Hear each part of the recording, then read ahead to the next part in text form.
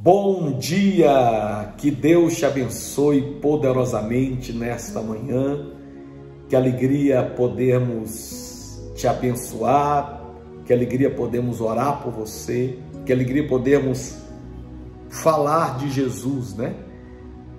Nós estamos aqui três vezes por dia orando. De manhã eu volto às 18 e volto à meia-noite. Você que é novato, lembre-se de orar com a gente. Se você não é inscrito no canal, se inscreva. Também pode deixar aqui nos comentários o seu nome para a gente estar orando por você, o seu pedido de oração.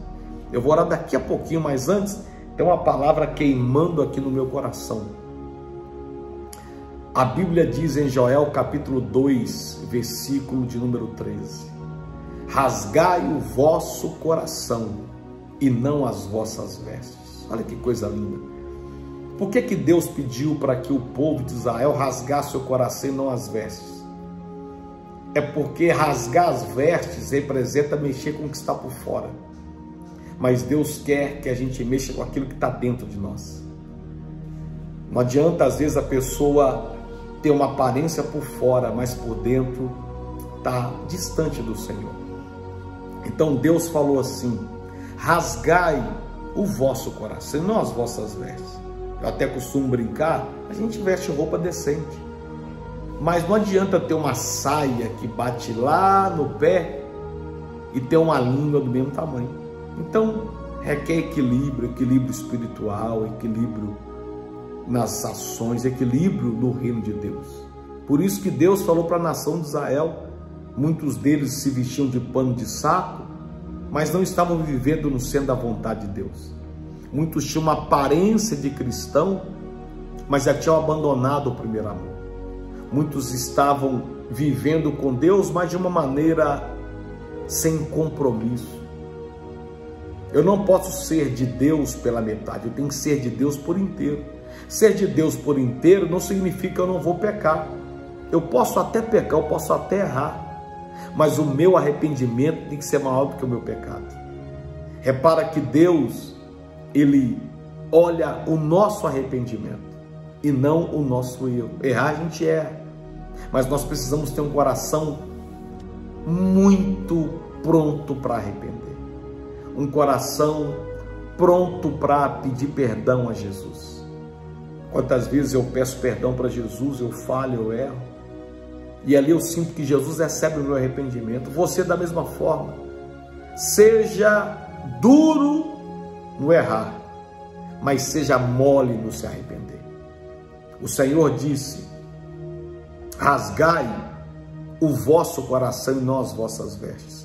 Ezequiel capítulo 36, versículo 26 diz assim, ó: Dar-vos-ei coração novo, porei dentre vós espírito novo. Tirarei de vós o coração de pedra e darei um coração de carne, capaz de obedecer a minha minha palavra. Repara que Deus está dizendo que Ele tem poder de trocar o nosso coração. Que coisa maravilhosa!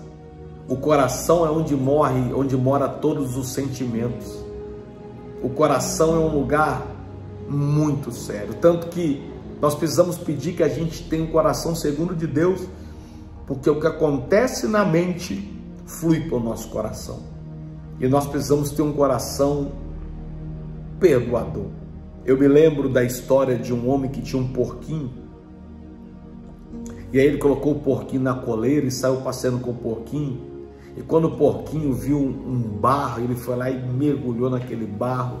E o dono do porquinho ficou chateado, ficou triste. Aí levou o porquinho no veterinário e falou: Doutor, me ajuda. Esse porquinho, quando viu um barro, quando viu a lavagem, ele mergulha nela. Aí o veterinário falou assim: Passa aqui daqui 30 dias que eu vou resolver o seu problema. Vou resolver o problema do porquinho. Aí passaram-se 30 dias, o dono do porquinho voltou para buscar o porquinho no veterinário. Aí pegou o porquinho, levou para casa. O porquinho estava bonito, estava cheiroso, tava, tinha tomado banho. Aí o dono foi vestir uma roupa bonita no porquinho e começou a passear com o porquinho, segurando na coleira. Aí ele falou assim: Vamos ver se esse porquinho mudou mesmo. Quando viu assim uma lama, aí o dono falou: Vamos ver se ele vai mergulhar na lama. Aí o porquinho chegou perto da lama e não mergulhou. Aí o dono ficou maravilhado. Aí chegou perto de uma lavagem, um porquinho não mergulhou. Aí o dono foi atrás do veterinário e falou: Doutor, o que, que o senhor fez com o meu porquinho? Que ele não mergulha mais na lama, não mergulha mais na lavagem. O que, que o senhor fez? Aí o veterinário falou assim: Foi simples. Eu rasguei o coração, o peito do porquinho, e tirei o coração de porco que o fazia mergulhar na lama, na sujeira, e coloquei um coração de carne obediente. O que, que eu aprendo com essa lição? Nós precisamos pedir que Deus tire o nosso coração mal, tire o nosso coração que nos leva a distanciar do Senhor, tire o coração que tenta nos fazer mergulhar na lama do pecado e nos dê um coração perdoador, um coração obediente ao Senhor. O Deus que você serve, ele tem coração novo para te dar. Vamos orar? Vamos falar com ele? Oremos. Grande Deus e poderoso Pai, eu entro em oração nesta hora, pedindo que o Senhor venha com o teu poder, pedindo que o Senhor troque o nosso coração arranque, faça essa cirurgia, tira o coração rancoroso, cheio de ódio, o coração mau, o coração que não consegue perdoar. Troca o nosso coração, Senhor. Nos dê um coração de carne, um coração capaz de te ouvir, um coração capaz de ajudar pessoas. Eu profetizo sobre a sua vida um novo coração a partir de agora. Receba esse transplante, receba essa cirurgia espiritual. O seu coração não vai mais mergulhar na lama, na sujeira do pecado, mas o nosso coração vai ser capaz de obedecer a Deus e a Sua palavra. Oh meu Deus, que o Senhor esteja recebendo o nosso arrependimento. O Senhor esteja recebendo a nossa oração agora. E que tudo que nós fizemos que não te agrada, que o Senhor tenha misericórdia de nós. Perdoa os nossos pecados, as nossas falhas e nos dê uma nova oportunidade de andar na tua presença. Em nome de Jesus. Amém. Graças a Deus.